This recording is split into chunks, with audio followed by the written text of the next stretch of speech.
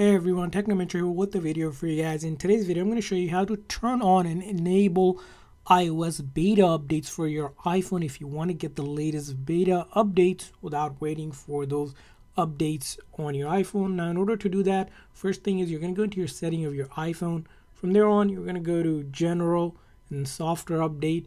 And from the software update here, by default, as you can see here, beta updates are turned off because most people are not going to be using beta updates. And the reason why is because it's uh, still pre-release. Basically, these are for testing. But if you want to get the beta update, you simply click on iOS 17 developer beta. And now each time a beta update is available, you can press and reload. Check to check if there's a update available. It will come up and show up here. And that's how you enable or turn on. Now, you have the option to install it if you want, or you don't have to.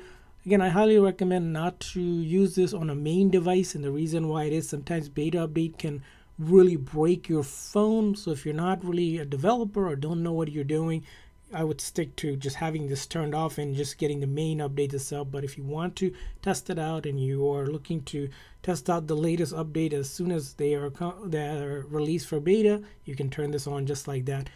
Uh, that's how you do it. I hope this video was helpful. If so, please consider the like and subscribe button for more tips and tricks for your iPhone and other iOS devices. See you guys next time.